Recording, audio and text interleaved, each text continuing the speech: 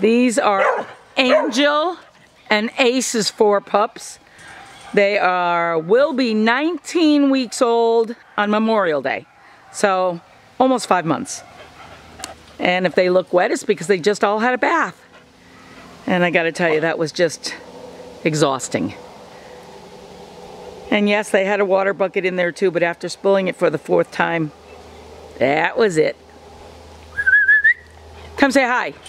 Yeah, there's that little girl that's not so little anymore. She's getting up there.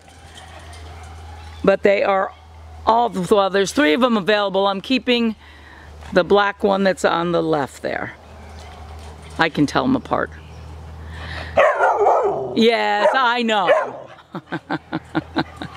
they are just adorable.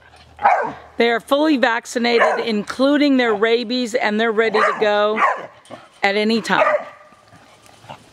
They've already been to the vet and it's been checked out, so they're good. Yes.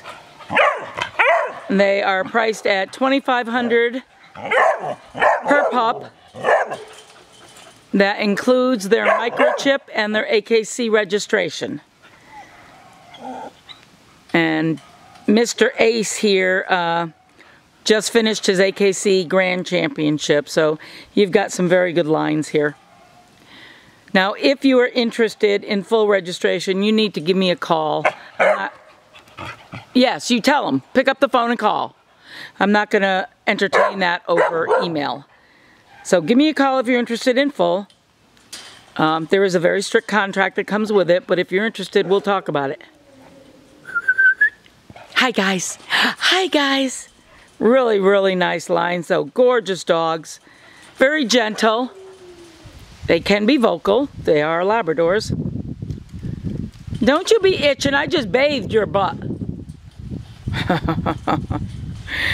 On the last dog, the hose decides to separate from the spray nozzle. What a, what a disaster. But anyway, these guys are ready to go at any time. I do have access to ground transport if you're interested. Um, he is going to be ending that next week as far as for June transport. He closes off the reservation list the end of the month before. So if you're interested in that, let me know. It's four and a quarter. And that's um, Colorado to the East Coast with the exception of Florida.